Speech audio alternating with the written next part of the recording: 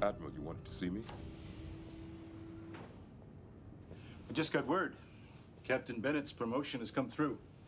At my recommendation, Starfleet's putting her in charge of 7th Tactical Wing. He's one of the best adjutants I've ever had. A Strong grasp of strategy and ability to see the big picture. Sounds like it's not going to be easy to find someone to take her place. I already have. You. I've been very impressed with you over these past few weeks. I think we would make a good team.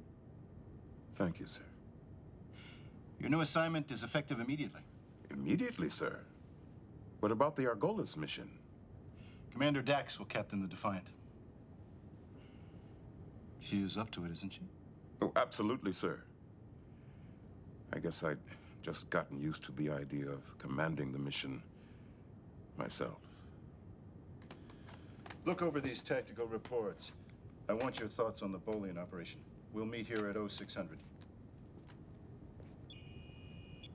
Ben? Congratulations.